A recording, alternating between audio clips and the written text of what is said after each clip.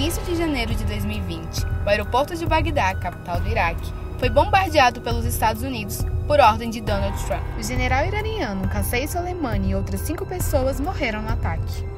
A morte do general, um dos mais importantes líderes de seu país e muito querido dos iranianos, intensificou o clima de animosidade entre os Estados Unidos e o Irã. A agressão coincide com a aproximação da corrida eleitoral dos Estados Unidos e durante um processo de impeachment do atual presidente do país, Donald Trump. Agora, qual a relação desse bombardeio com as eleições e o impeachment nos Estados Unidos? Para entender melhor essa situação, vamos voltar um pouco no tempo. Our president will start a war with Iran because he has absolutely no ability to negotiate. He's weak and he's ineffective. So the only way he figures that he's going to get reelected, and as sure as you're sitting there, is to start a war with Iran. I believe that he will attack Iran sometime prior to the election because he thinks that's the only way he can get elected. Isn't it pathetic? Em 2011, durante o governo do Obama, a narrativa de Trump ironicamente iria funcionar perfeitamente contra ele nove anos depois. O governo Trump é repleto de controvérsias e polêmicas. No dia 9 de novembro de 2016, Trump foi eleito o 45º presidente dos Estados Unidos. Ele venceu com 304 dos 538 votos do colégio eleitoral americano.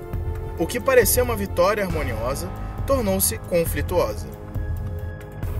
The wall just got 10 feet higher. Government, please put your heart.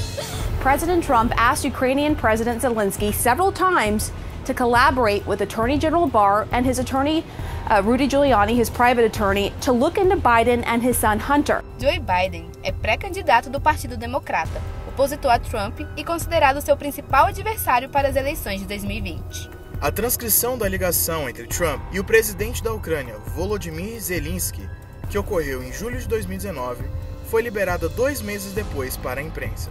A informação da ligação e liberação de verbas foram vazadas por um informante. O presidente alegou que a verba foi liberada antes que ele soubesse que haveria uma denúncia.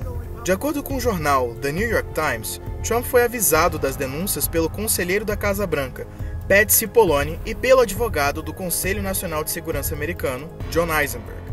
No dia 18 de setembro do mesmo ano, foi aberto um inquérito na Câmara dos Representantes americanos, acusando o presidente de abuso de poder e obstrução do Congresso.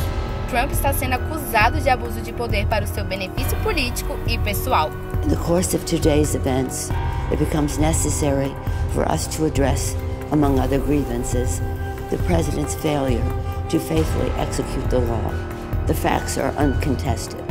The president abused his power for his own personal political benefit at the expense of our national security by withholding military aid and crucial Oval Office meeting in exchange for an announcement of an investigation into his political rival.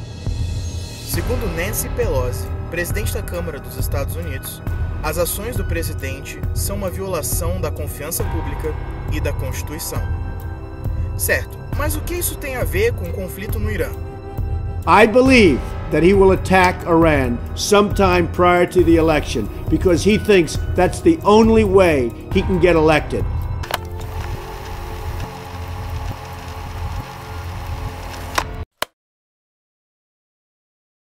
Então, voltamos novamente a 2020. No dia 3 de janeiro, Qasem Soleimani é morto. Por conta disso, milhares de iranianos e iraquianos vão às ruas protestar contra o assassinato e prestar respeito ao general. Entre os manifestantes estava o primeiro-ministro do Iraque, país aliado aos Estados Unidos. No Twitter, Trump ameaça atacar 52 pontos de relevância cultural não militares no Irã, caso o país revide o ataque. A ameaça assustadora também tem um significado maior do que apenas uma possível guerra. De acordo com o artigo 8 parágrafo B do Estatuto de Roma, que estabeleceu a Corte Penal Internacional, intencionalmente atacar civis e alvos não militares que podem causar morte e ferimento a civis é considerado crime de guerra. Depois de uma forte pressão nacional e internacional, Trump recuou nas ameaças, mas disse que a retaliação dos Estados Unidos seria através de sanções. O clima é de tensão, no qual a ameaça de uma guerra econômica ou armada pode acontecer a qualquer momento.